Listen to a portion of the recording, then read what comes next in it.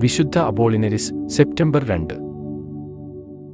സ്വിറ്റ്സർലൻഡിലെ ഫ്രീബെർഗിൽ ജനിച്ച വിശുദ്ധ അബോളിനരിസ് ഫ്രഞ്ച് വിപ്ലവകാലത്ത് രക്തസാക്ഷിത്വം വരിച്ച വിശുദ്ധനാണ്. സെപ്റ്റംബറിലെ രക്തസാക്ഷികൾ എന്നറിയപ്പെടുന്ന രക്തസാക്ഷികളിൽ ഒരാളാണ് അദ്ദേഹം. തന്റെ വിദ്യാഭ്യാസ കാലത്താണ് സുവിശേഷ പ്രവർത്തനത്തിൽ താൽപ്പര്യം ജനിച്ച് അബോളിനരിസ് പുരോഹിതനാകാൻ തീരുമാനിക്കുന്നത്. ഒരു പുരോഹിതനാകാൻ വേണ്ടി മാനസികമായി ഒരുങ്ങുവാന് അദ്ദേഹം ശ്രമിച്ചു. പഠിക്കുമ്പോഴും മറ്റു പ്രവൃത്തികൾ ചെയ്യുമ്പോഴും അദ്ദേഹം പ്രാർത്ഥിക്കുമായിരുന്നു.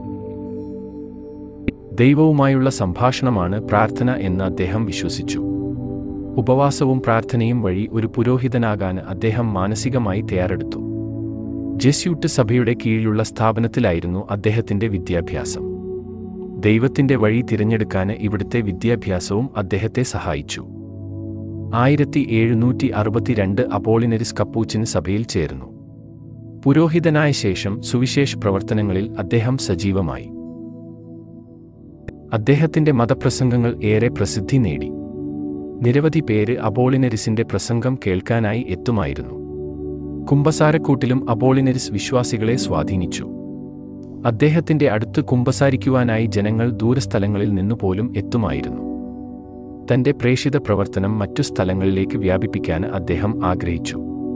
വിദേശ ഭാഷകൾ പഠിക്കുന്നതിനു വേണ്ടി പാരീസിലേക്ക് പോകുകയാണ് ഇതിനുവേണ്ടി അദ്ദേഹം ആദ്യം ചെയ്തത്. അദ്ദേഹം പാരീസിലായിരിക്കുമ്പോഴാണ് ഫ്രഞ്ച് വിപ്ലവം പൊട്ടിപ്പുറപ്പെട്ടത്. മറ്റനേകം പുരോഹിതർക്കും കന്യാസ്ത്രീകൾക്കുമൊപ്പം അബോളിനരിസം അറസ്റ്റ് ചെയ്യപ്പെട്ടു. പാരീസിലെ കർമ്മലീത്ത കോൺവെന്റിലാണ് ഇവരെയെല്ലാം തടവിൽ പാർപ്പിച്ചിരുന്നത്.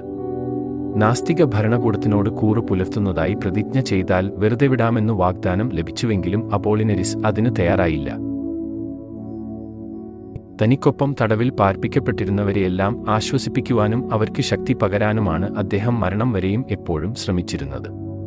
ആയിരത്തി എഴുന്നൂറ്റി തൊണ്ണൂറ്റി രണ്ട് സെപ്റ്റംബർ രണ്ടാം തീയതി അദ്ദേഹം രക്തസാക്ഷിത്വം വരിച്ചു.